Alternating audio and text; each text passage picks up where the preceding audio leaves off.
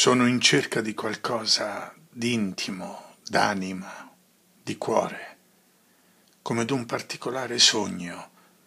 Sempre mi lascerò sorprendere, non mi so difendere, non sfuggo alle viscere di me stesso, al cesso, quando ne ho bisogno.